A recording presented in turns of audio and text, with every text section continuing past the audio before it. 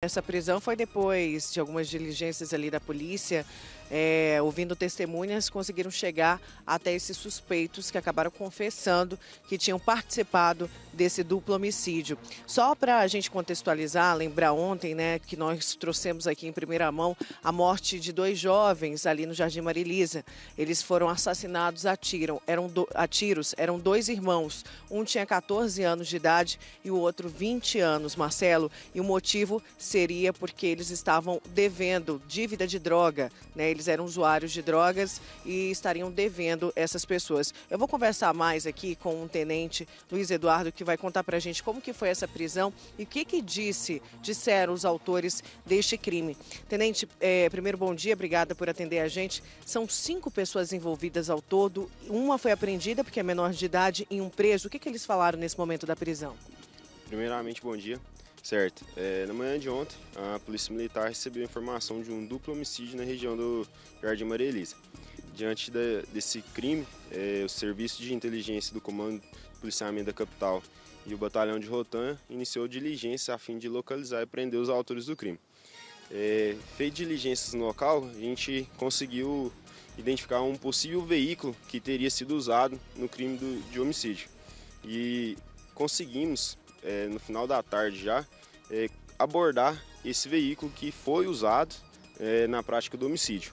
Através desse veículo chegamos a, dois é, indivíduos que foram é, conduzidos para a central de flagrante e esses indivíduos relataram, confessaram para as equipes de Rotan que eles estariam na noite anterior uma distribuidora de bebidas na região de Vila Brasília e teriam deparados, deparado com as duas vítimas.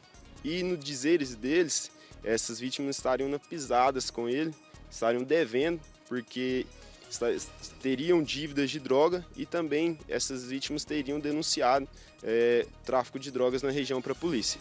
Só para entender, é, a motivação seria duas. Primeiro, que as vítimas deviam drogas, eram usuários de drogas e deviam. E também porque tinham falado que eles eram traficantes para a polícia, seria? Sim.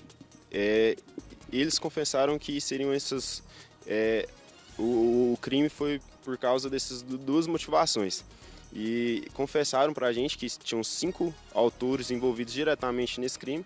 No dia que eles depararam com, a, com as vítimas na, na, distribuidora, atraíram elas falando que iriam para uma festa fazer o consumo de bebidas e drogas.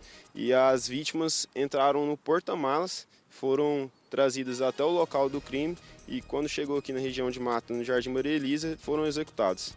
O Marcelo Vidal quer fazer uma pergunta. Marcelo? É, na verdade, uma emboscada, então, né, para esses dois jovens. O que chama a atenção é a idade de um deles. Você disse 14 anos é, e já envolvido ali, né, o usuário de drogas e tal. Mas muito novo, um adolescente que foi morto por conta de, de algo banal. Né? Começou a se envolver no mundo das drogas e foi morto, teve uma vida inteira interrompida por conta disso. Gostaria que o tenente falasse mais sobre é, essa participação cada vez mais de menores também no mundo das drogas. O Marcelo está falando sobre a idade né, das vítimas, dois rapazes ainda, jovens, um de 20 anos e outro de 14 anos de idade, ainda considerado um pré-adolescente. E ele está falando justamente disso, dessa, desse ingresso desses jovens, dessas crianças, na verdade, no mundo das drogas. Isso tem sido mais comum, Tenente? Sim, infelizmente, tanto os autores quanto a, as vítimas estavam envolvidas diretamente no tráfico de drogas tudo se resume a isso, a isso, tráfico de drogas. Os dois morreram por dívidas por envolvimento em tráfico de drogas.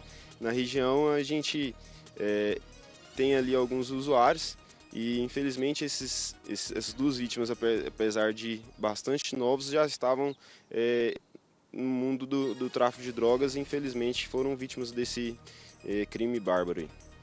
Tá certo. Agora a polícia já tem a identificação desses outros três autores que estão foragidos. A polícia aí pretende, acredita que pode ainda prendê-los essa semana? Sim.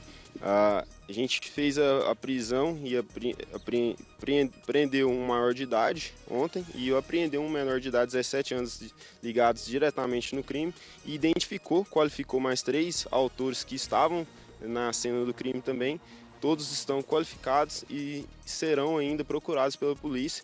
Vamos procurar até achar. Cabe ressaltar que os índices da, na capital, índice de criminalidade, vem abaixando e apesar de um crime bárbaro como esse que aconteceu ontem, a Polícia Militar sempre procura elucidar e é, prender os autores para que o crime não fique, é, não tenham, tenham que pagar pelo crime. Certo, muito obrigada, viu, Tenente? Parabéns aí pelo trabalho. A polícia que fez essa prisão e essa apreensão muito rápida, né, Marcelo? No mesmo dia que aconteceu o crime.